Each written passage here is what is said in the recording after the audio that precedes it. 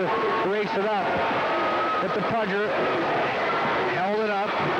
And it looks like we'll work full on. with 28 seconds to go. They work outside of Freddie. He works inside of a Sandman. He nearly loses it. And Then hands it off to Race, and he's going to put up a rare jumper.